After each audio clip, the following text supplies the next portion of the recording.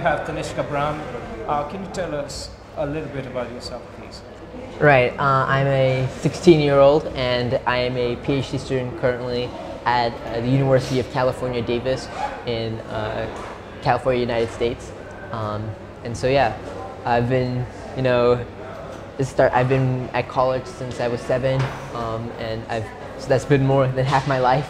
Um, and, you know, I've been at, at, community college, and then from community college, I've been uh, going to uh, University of California, Davis for my undergraduate degree, my bachelor's degree, and then um, I am now continuing my studies uh, as a PhD student. Right. So when when was it realized that you're actually a child prodigy? I think my parents realized that I was special from a from a really young age.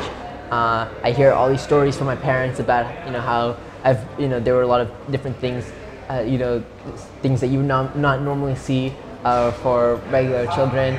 For example, when I was less than a day old, uh, you know, my parents and my my grandparents would notice how you know I was very attentive, and you know when you know people were talking to me or talking about me, uh, you know I would lift my head up uh, and you know move my head around to see wh- what, what was going on.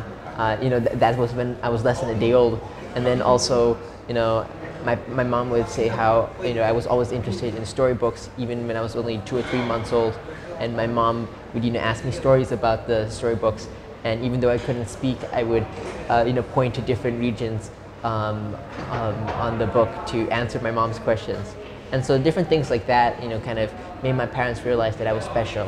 And then I guess finally when they uh, had a, they had me take a, an IQ test, um, I scored, you know, like 99.99 percentile. And so this was around when I was age four. And so I guess at that point it was kind of confirmed that, you know, I was you know, I guess a child prodigy. Um, and um, so yeah, I guess since that was kind of how my parents realized. Um, and so ever since then, they've kind of, you know, helped me, uh, you know, nurture my abilities and, you know, I guess uh, uh, help me apply my talents. Okay, so what are you currently working on? Uh, I'm currently a, a PhD researcher uh, at a lab in UC Davis. Uh, my research is currently focused on it, my, my lab works on, um, on microscope, new microscope modalities uh, to, that are meant for uh, clinical tissue sample analysis. Um, and uh, my work is focused on applying deep learning techniques uh, to analyze and interpret these, uh, uh, these, the data that we get from these microscope modalities. So about the child prodigies and nurturing them. Mm-hmm. So what do you feel about child prodigies on a philosophical level? I mean, how do they emerge? Why are they here and mm-hmm. what's their purpose in life? Yeah, uh, yeah, this is definitely a little bit more of a philosophical question.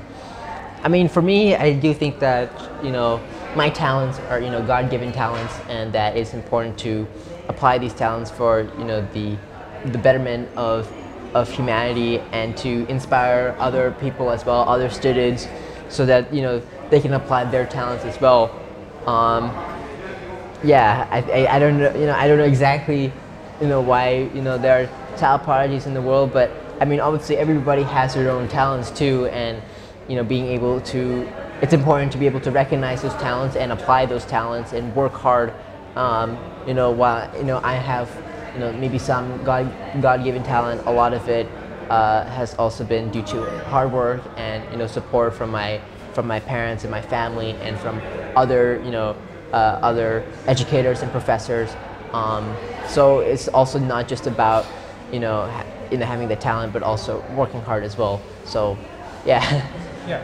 So um, uh, the Global Child. Prodigy Award is as an evil. mm-hmm. what do you feel about it? Uh, is it important? What do you think uh, it leads the society to? Yeah, I think that the, the Global Child Prodigy uh, initiative and also the award function that we, we had um, was, you know, it's a very, I think it's a very important platform because there are, you know, a lot of child prodigies that may not necessarily have uh, been recognized. Um, I have been uh, recognized, you know, kind of globally, and same with my sister, and you know, we're really lucky to be recognized like that.